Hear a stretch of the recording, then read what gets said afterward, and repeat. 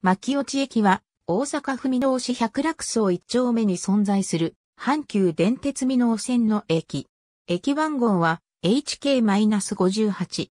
相対式ホーム2面2線を有する地上駅。分岐器や絶対信号機を持たないため、停留所に分類される。駅は2本の道路に挟まれ、改札口は石橋阪大前方のホームの下にある半地下式。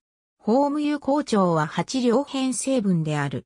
ただし、未納方面ホームでは定期列車で8両編成が運行されていないため、実質使われているのは4両編成分のみである。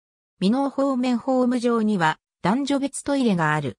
石橋阪大前方面ホーム上には待合室がある。また、上下各ホームと改札外は階段とエレベーターで連絡している。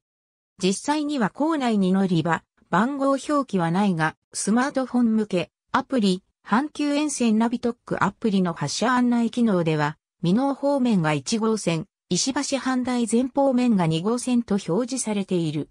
2019年度のある特定日における1日の乗降人員は8816人である。近年の特定日における1日の乗降、乗車人員数の推移は下表の通り、見直しのコミュニティバス、オレンジ譲るバスの路線が乗り入れる。牧落駅停留所キルートは平日ダイヤのみでの運行で、休日ダイヤではバスの乗り入れはない。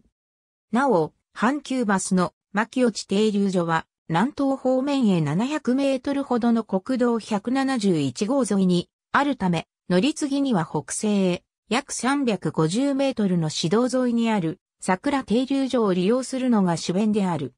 阪急バス桜停留所、美濃中央線千里中央行井の口道行、千里中央行。ありがとうございます。